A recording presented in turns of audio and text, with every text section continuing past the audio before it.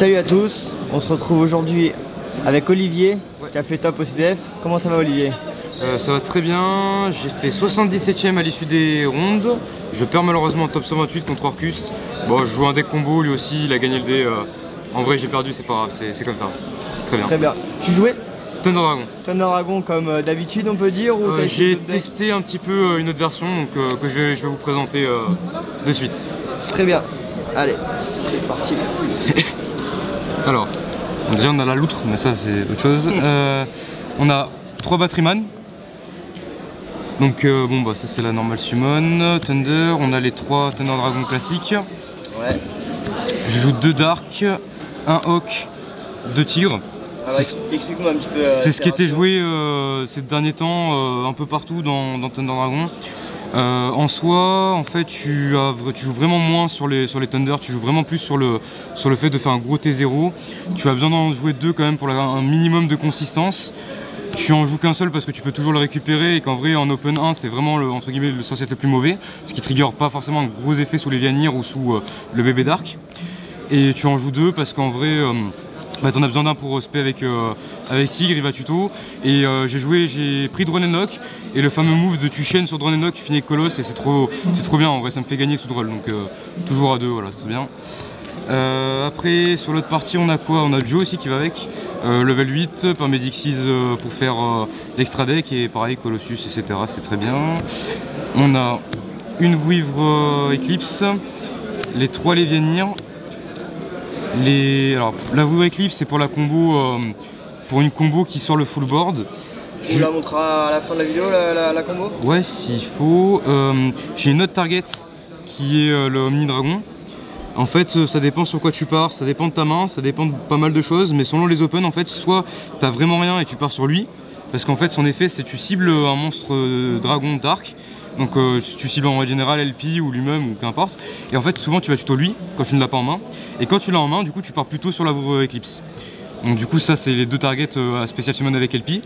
On a les trois Lévenirs parce que c'est un bon macro et parce qu'il shuffle une carte de la main et qu'en vrai il peut faire start euh, sur les mains un peu compliquées avec les dangers quand t'as trois cartes au cimetière etc. On a du coup les deux Vruvo Dark. J'en joue que deux et non pas trois. J'aurais pu en jouer trois mais je trouve quand même que ça fait c'est une carte quand même qui peut faire brique. Je joue du coup en complémentaire les trois lights. Donc du coup, bah, parce que je joue Batteryman, etc., que ça fait, c'est vraiment le meilleur open, Batteryman plus lui. On fera aucun commentaire parce qu'ils sont en allemand. Hein. Aucun commentaire. Et euh, je joue un Diabolos, donc pour la combo, pareil, dans l'optique de faire défausser deux euh, entre Lilianir et Diabolos. Euh, après, du coup, on a la partie Danger. Merci Maximilien Delval pour me les avoir prêtés. J'ai trois Tsukinoko. J'ai trois Jackalope. Trois Nessie. C'est euh, grosso merdo le ratio classique euh, que je préfère. J'aurais pu essayer d'en jouer 11 avec euh, peut-être les Mothman, mais Mothman n'est pas hyper intéressant sur cette méta dans le sens où si j'active son effet, tu vas discard un Orcus ou un mon Salamangre, tu vas pouvoir trigger Gazelle, ou pour Orcus il va pouvoir trigger ses effets dans le cimetière, donc c'est pas forcément oufissime. Pas Cabra est pas très intéressant si ton cimetière est pas chargé. Et Bigfoot ou, ou, Bird ça fait pas du CA donc pas hyper intéressant. Et ce que j'ai testé c'est les Croisédia. Donc ça a été joué en Amérique, donc du coup j'ai voulu les tester. Honnêtement ils sont très très bien. En fait dans l'idée, c'est dans l'optique de tu normes n'importe quel croisédia. D'ailleurs tu vas invoquer spécialement le monstre dans la zone pointée par la link 1 qui va tuto le dragon. Et en fait de là en fait tu pars sur une loupe avec les War Dragons. Donc en fait c'est entre guillemets une pseudo euh, one card ou two card combo en fait euh, War Dragon. C'est une mini engine. Euh, c'est ça, c'est une mini engine et qui est vraiment très bonne. Tant compter que celle-ci du coup en, second bah, elle, gère des, peut gérer des bacros ou quoi donc c'est fort. Lui c'est pour la combo parce que c'est le dragon, il récupère un du cimetière. Et elle, elle peut en gros te permettre de jouer autour de Ghost sur les, les links, les links et pour les trois spells, les trois Light of parce que bah, c'est juste euh, gratos, c'est très très fort. Du coup, combien dans le main deck? 41. 41. J'ai pas réussi à jouer à 40, j'aurais bien aimé jouer à 40, mais euh, le choix était sur le duo euh, de, le jouer, de jouer et du coup de jouer à 41. du coup, je place sur l'extra deck. Je joue que deux colosses du coup parce que vraiment c'est vraiment dans l'optique de dire de dire qu'on joue vraiment beaucoup plus un deck combo maintenant que vraiment Thunder Dragon. Donc tu joues un peu moins sur Colosse. Euh, les deux seules euh, cartes pour les Croisédia. Donc t'as Link 1 qui permet d'aller tuto ton dragon, t'as Link 2 qui te permet de changer de place quand tu vas spé ton dragon. Quand tu vas spé LP, tu changes de place et du coup tu peux spé du pull deck.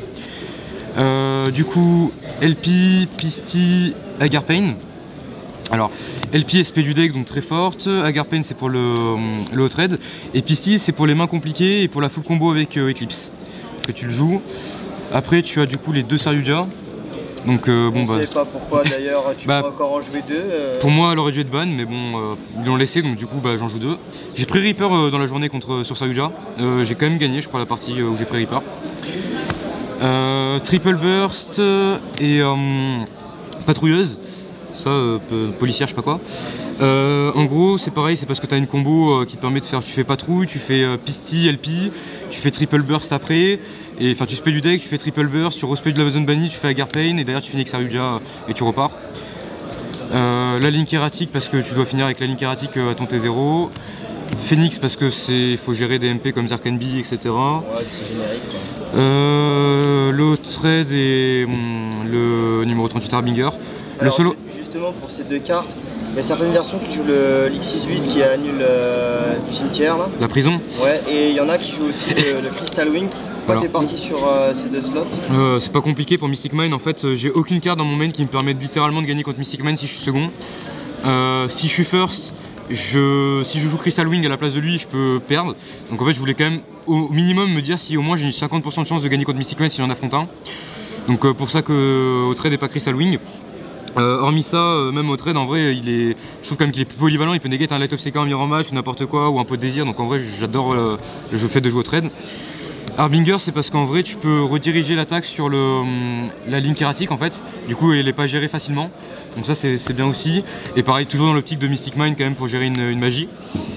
Et pourquoi est-ce que j'ai pas joué la prison? Parce que malheureusement, j'ai pas la place dans, l'extra deck. J'ai pensé à jouer en side, mais pareil, j'ai pas la place dans le side deck pour le rentrer le seul regret de l'extra deck aussi, euh, hormis la prison, c'est euh, Licorne aussi, de pas jouer Licorne.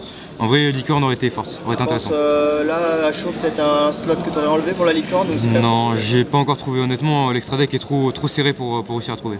Il Faut encore que je réfléchisse. du coup, place au side deck.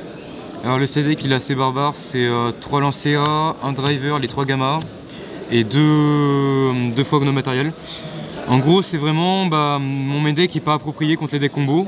Donc en fait post-side je rentre 9 cartes de, side contre, les decks combos pour euh, dire bah la première je la perds, la deuxième le moment je commence censé gagner, la troisième j'ai mon side je suis censé pouvoir gagner. Sachant que Gamma était incroyable parce que bah elle fait vraiment vraiment game. Elle me fait gagner contre Acrosedia où en fait elle gère juste le Saryuja et du coup bah, il peut pas se dans la zone. Le Gnome Material pareil il peut faire pass turn. Et aussi euh, Gamma il est hyper important pour euh, Dweller contre Salamangreat en T0 quand ils font Dweller contre toi, tu, fais un Danger, il va chaîne, il va tu fais Gamma et ça peut faire gagner. Euh, après, hormis ça, tu as du coup 3 spells, 3 spells pardon. En gros, cette carte c'est pareil, du coup je suis très frêle contre Mystic Mine, donc du coup j'ai rentré, en fait j'ai joué 6 euh, cartes contre Mystic Mine, qui sont les 3 Tomb Twister et, les 3 Spell Canceller. Donc 3 Tone Twister, bon bah c'est classique, il n'y a rien à expliquer. Et Spell Canceller en fait elle est très forte parce que tu la sacrifies et c'est un effet permanent. Donc du coup elle out Mystic Mine et elle peut faire une free game contre SS. J'ai joué un seul SS de la journée, je l'ai touché en second et j'ai gagné sur ce carte. Voilà voilà. Ok super. bah, merci à toi pour la, la Est-ce que tu as un dernier petit mot, des remerciements euh, bah, Merci à la Ben de Card Player, à Paul pour les plays, pour les plays euh, où on s'est entraîné, à Cyril mon frère et à Max pour les cartes qu'ils m'ont prêtées, etc. Voilà. Ok super, bah écoute, euh, j'espère qu'on pourra te revoir à la prochaine, j'espère aussi. À, l'Europe déjà, aussi en top. Puis on se dit à la prochaine. À la prochaine. Ciao.